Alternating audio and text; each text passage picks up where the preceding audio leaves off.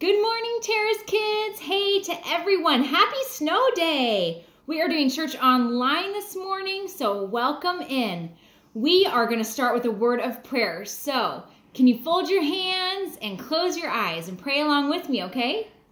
Jesus, I thank you for this glorious morning, this glorious snow that you have given us, and the fun that we get to have in the midst of it. Lord, I pray that we would have hearts that would honor you, that would worship you, and that would love you with all of our hearts.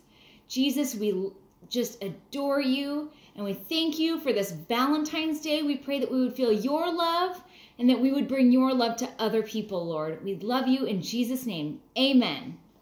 All right. Hey, for the preschool class, we are going to keep memorizing Deuteronomy 6 5, which says, Love the Lord your God with all your heart and with all your soul and with all of your strength.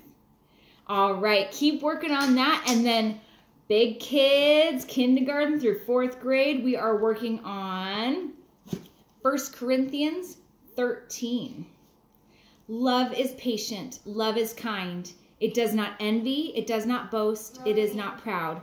It is not rude, it is not self seeking, it is not easily angered. It keeps no record of wrongs. Love does not delight in evil, but rejoices with the truth.